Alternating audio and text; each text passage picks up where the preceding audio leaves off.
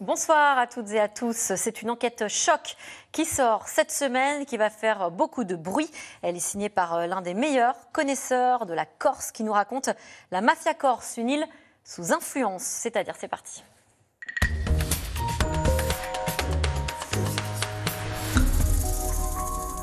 Bonsoir, Jacques Folleroux. Bonsoir. Alors, vous êtes grand reporter au journal Le Monde, vous avez euh, euh, signé des dizaines d'ouvrages et vous suivez l'actualité euh, en Corse depuis près d'une vingtaine d'années. vous revenez aujourd'hui justement avec ce livre hein, sur la mafia corse. C'est chez Robert Laff. La pègre est absolument partout en Corse, c'est incrusté, comme vous dites, dans la vie de tout le monde de façon quasiment institutionnelle d'un enracinement qui s'est fait, qui s'est fait doucement et en même temps, la mafia corse est une, est une mafia jeune. Elle naît euh, au milieu des années 80. Euh, et il y a eu la, première génération. Les fondateurs de cette mafia sont aujourd'hui pour la plupart soit morts, soit, soit âgés. Et euh, ces gens-là ont disparu, mais le système, lui, a perduré. Il s'est même enraciné, il s'est même, comment dire, il a même approfondi encore son emploi. Qu'aujourd'hui, par exemple, vous avez le lieutenant, par exemple, le, bras droit du parrain de la Corse du Sud, qui peut se permettre de convoquer le directeur du cabinet du maire d'Ajaccio, de la mairie d'Ajaccio, pour le, se plaindre de la non-obtention d'un permis de construire, d'un rooftop euh, sur un restaurant. Oui, on se rend compte que ça ne touche pas que, ça touche bien sûr les commerçants, euh, la vie privée, mais aussi les commerces privés, mais aussi euh, les écoles, les établissements publics, les hôpitaux. Il y a des systèmes même de double appel d'offres, et c'est normal. C'est normal. Alors c'est normal, mais enfin oui et non. C'est-à-dire que ça, ça démontre une chose. Ça démontre que sur un bout du territoire de la République, vous avez un pouvoir parallèle d'accord, qui a, pris, qui a réussi à prendre en otage une société, une économie, un système politique. Alors ça ne veut pas dire que, tous les politiques sont, des mafieux ou que tout Et c'est pour ça que je trouve que le, titre du, livre correspond tout à fait à la définition de ce phénomène de, ce phénomène de violence organisée. D'accord? C'est une influence qui, pèse sur, cette société-là. Et alors c'est diffus. Quand vous allez en vacances en Corse, vous ne le voyez pas. Mais en fait, c'est le propre aussi d'une mafia, c'est-à-dire c'est de rester, c'est de rester justement derrière, caché, et, d'exercer son emprise par les intermédiaires. Et quand les choses ne vont pas comme ils le souhaitent, dans ces cas-là, la violence intervient. Oui, parce que là, il s'agit d'assassinats euh, en règle, etc. Juste pour revenir sur les, le profil des mafieux, parce qu'on a du mal à, à se l'imaginer. Est-ce que c'est euh, ce qu'on connaît peut-être euh, en parlant de, parrains ou de clans euh Rappelez que la mafia ne définit pas un mode d'organisation. C'est-à-dire que tout le monde a une vision un peu hollywoodienne avec Cosa Nostra, Corleone, la coupole, etc.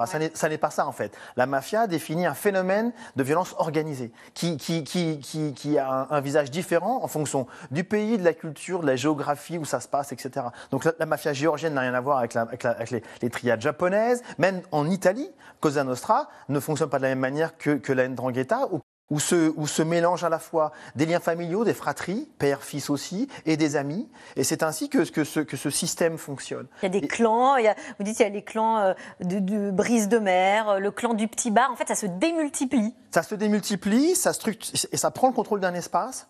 Et, ça, et, ça, et c'est un système de prédation économique et qui fait aussi que, si vous voulez, ce qui est important de, voir, c'est que en, l'espace de... tout ça commence au milieu des années 80. Hein il y a peu de temps. Donc c'est beaucoup plus jeune. Néanmoins, c'est jeune, mais la société corse aujourd'hui, elle, sent le poids de ce système. Et il y a même un inverse. Et, si vous voulez, là, on, est, tous les deux dans, ce studio, on est sur le continent, etc. Mais en Corse, ça, n'est pas, du folklore. Ce ne sont pas des mots en l'air. C'est-à-dire qu'en Corse, si vous êtes, euh, vous pouvez mourir, le patron de la, de la chambre de commerce et d'industrie, etc. Donc, euh, si vous voulez, quand à un moment donné, euh, euh, vous, vous pouvez perdre la vie. Oui, et vous parlez de pouvoir parallèle. Pour le coup, il y a un vrai inversement des valeurs. Comme si ça n'était plus un pouvoir parallèle, puisque on voit qu'il y a des tribunes de certains pignons sur rue, qu'il y a des, des, chefs de gang qui saluent les gens dans la rue, et ça, c'est... C'est pour ça que ça, n'est pas un simple voyou, c'est un, un, un, système mafieux. C'est-à-dire que le, voyou en Corse ne vit pas au banc de la société c'est un acteur tout à fait enfin, euh, plein et entier, c'est un acteur social. Et ça peut être des jeunes, des gens de bonne famille, hein. vous, vous décrivez on n'inscrit pas son, parcours et son, et son, ambition dans une revanche sociale. Vous avez aussi des fils de bonne famille, des fils de notaires, des fils de neurologues, etc. Avec des techniques très modernes. Du coup, vous dites euh, des capacités créatives qui euh, surprennent tout le monde. C'est ça. C'est-à-dire que comme euh, un système mafieux, système criminel, c'est-à-dire qu'il il s'adapte, il, il, ne vit pas en rupture avec la société, il, il est au courant des, des, évolutions technologiques et en même temps, il y a, et ça, il, s'inscrit dans une histoire criminelle, c'est-à-dire que le jeune, le voyou qui commence aujourd'hui, ne, enfin, il ne, il ne crée crée pas lui-même son système, euh, etc. Il s'inscrit dans un système qui, qui, qui préexistait avant lui, et donc il y a aussi toute police. Et alors justement, la justice, l'État, que fait l'État pour euh, stopper cette, cette pègre qui progresse? Donc on le comprend bien. C'est aussi la, la, la, la, méconnaissance et des fois l'espèce de dédain un peu sur la question de la mafia corse, en, de, de l'existence d'une mafia en Corse. C'est-à-dire que l'État, aujourd'hui, avec le recul, je pense qu'il y a eu euh, un peu des, un peu des calculs d'apothicaires, c'est-à-dire qu'ils ont joué à un moment donné euh, l'État. Vous parlez qu'ils ont joué à l'apprenti sorcier. Apprenti sorcier, parce qu'ils ont joué euh, les voyous contre les nationalistes à un moment où les nationalistes clandestins constituaient un vrai défi à l'autorité de l'État, de façon très, très, très, très symbolique, en pleine figure de l'État. Je pense aussi qu'il y a une forme d'inculture du sujet une, inconstance à la fois dans l'action et aussi une un de déni finalement, d'aveuglement un peu. Cette indifférence au final mission et d'abandon d'une population. Alors est-ce que euh, bah, l'autonomie que euh, promet le gouvernement, ça pourrait euh, changer les choses? Bah, L'autonomie, pour moi, ça pose, ramener à la question, la question de la mafia corse, ça pose la question aussi d'un autre certaine manière, contrepoids qui n'a pas fonctionné. Un autre contre-pouvoir qui n'a pas fonctionné, ce sont les nationalistes et les autonomistes. Il faut bien avoir à l'esprit qu'ils sont au pouvoir. Ils ont, ils ont les rênes politiques et économiques de l'île depuis 2015. Ça fait sept ans. Est-ce que, est que, pendant les sept ans, ces gens qui étaient quand même porteurs d'un idéal d'égalité sociale, d'équité, de, de, de, juste répartition de la richesse, etc., est-ce qu'ils ont réussi à faire reculer l'emprise mafieuse? Aujourd'hui, non. Et il y a un phénomène qui me semble important de rappeler, c'est qu'il euh, y a eu un mouvement souterrain. Ce processus d'emprise, il, a, il, a, il, a, il, a, fait réagir la société corse. Et en fin 2019 sont nés euh, deux collectifs anti-mafia. Une sorte de parole qui viendrait de la société civile. C'est la, société civile qui, de façon un peu diverse. Prise l'omerta, pour le coup.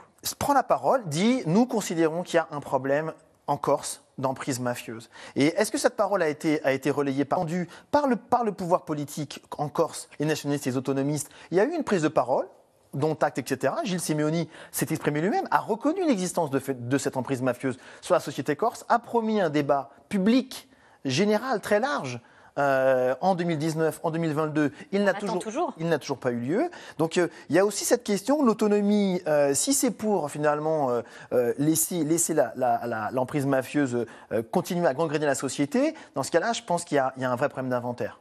Donc quoi, le, changement peut venir quand même de la société civile, mais si on s'agrège c'est la question de savoir qu'est-ce qui, qu'est-ce qui pourrait arriver pour que l'État et la Corse euh, puissent réagir. Malheureusement, on a envie de dire, euh, est-ce qu'il faut attendre comme, comme, finalement ce qui s'est passé en, en, Sicile? Est-ce qu'il faut qu'un juge euh, soit assassiné ou un préfet de nouveau assassiné? Merci Jacques Folloroux. Merci à vous. Mafia Corse, une île sous influence. C'est chez Robert Laffont ça sort jeudi tout de suite. C'est dans l'air avec Caroline Roux qui revient sur la situation en Ukraine. Bonne émission.